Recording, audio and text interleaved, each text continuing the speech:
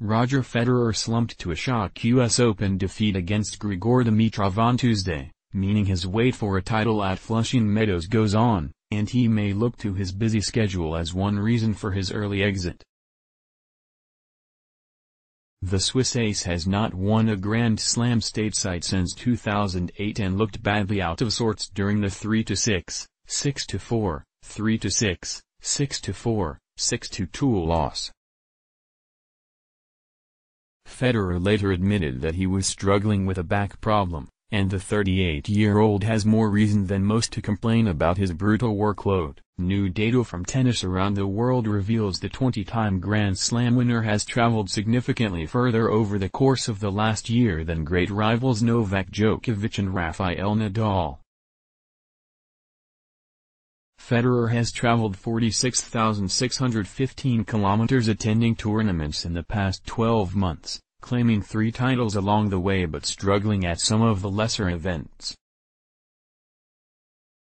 And following their respective exits at Flushing Meadows, Federer has earned nearly £3 million less in prize money than Djokovic despite playing the same number of matches. While Federer has racked up £4.7 million in winnings, Djokovic has pocketed £7.5 million on his travels, clocking up 35,413 kilometers without taking into account flights home.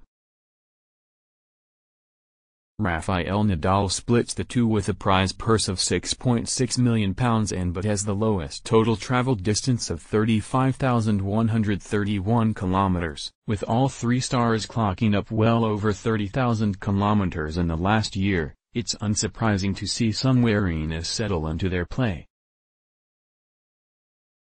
Speaking after his defeat to Dimitrov, Federer said, I just feel low, just disappointed it's over because I did feel like I was actually playing really well after a couple of rocky starts.